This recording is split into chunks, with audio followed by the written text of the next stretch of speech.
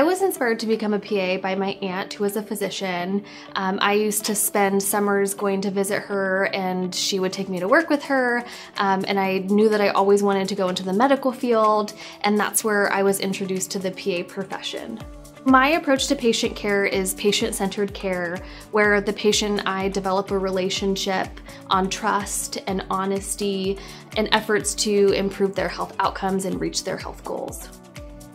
I decided to work for Samaritan because I worked here before in cardiac rehab as an exercise specialist case manager, and this is my home. I couldn't imagine going anywhere else. Outside of work, um, I love to spend time with my partner Tyler, our dog. We have an Australian Shepherd. Um, we love to go to football games. We both went to OSU. We love camping, hiking, anything outdoors, and really just spending time with family and friends.